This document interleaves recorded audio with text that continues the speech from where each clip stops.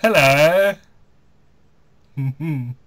well, hey everyone, and welcome to my uh, Tuesday blog, and it's the first of December, and guess what? Guess. No, no. Guess. I got fired.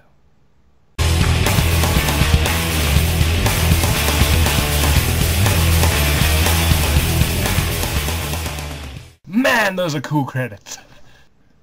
So yes, I got fired this morning and I'm now sitting on the unemployment line looking for a new job.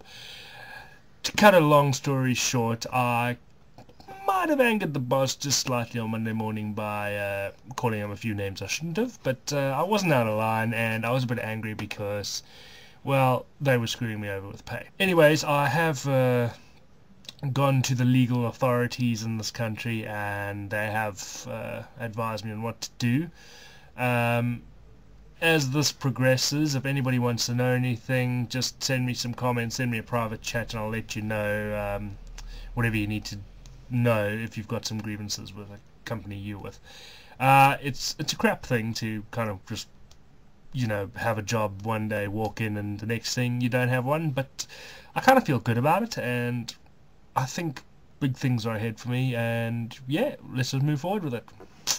On with the show. My drink for next week, if I'm still unemployed, will be a loaf of bread and some methylated spirits.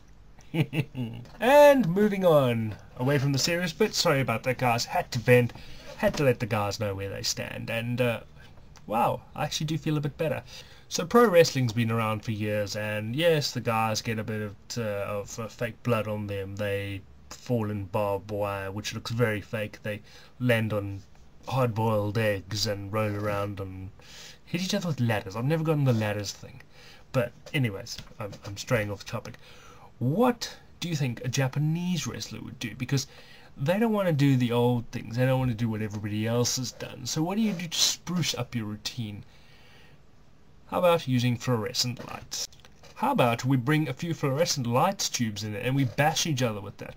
I mean, let's just forget all about the wrestling. We'll wear wrestling outfits and whatnot, but we'll just bash each other with these tubes and cut each other to slices. Good job. So guys, Jane Austen died of tuberculosis, not hormonal disorder. Duh. So in the news, giant jellyfish have invaded Japanese waters, and these fish are huge. I mean, you're looking at 2.2 meters in diameter, and they weigh up to 300 kilograms. I mean, that's a big mother. Now, it's still a mystery how and why they've grown this big and why they've invaded the coast of Japan. But my theory is that Gold's Gym might be pumping a lot more than sewage into the seawaters. Check out the video down there on the links bar and uh, let me know what you think about these massive creatures. In fuck Godzilla, I can see the new monster flick's gonna be giant jellyfish.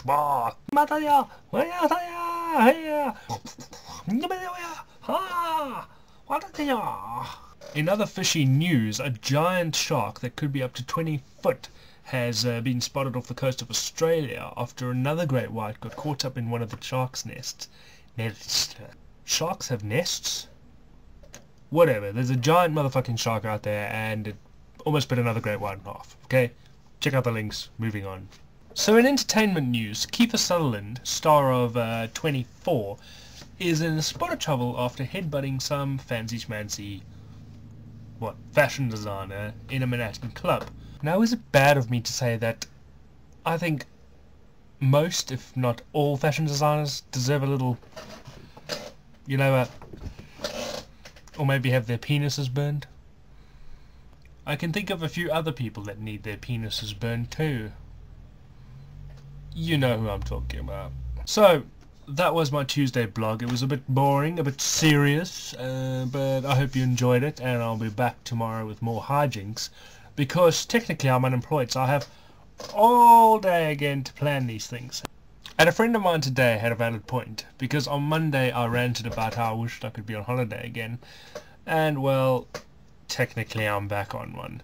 So, I'll leave you with these words from my wise friend in South Africa.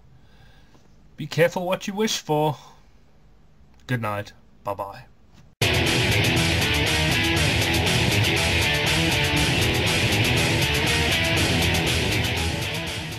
Oh, and one more thing. Tune in to tomorrow's show where I'll be trying to do the entire blog with uh, Patrick Stewart voice.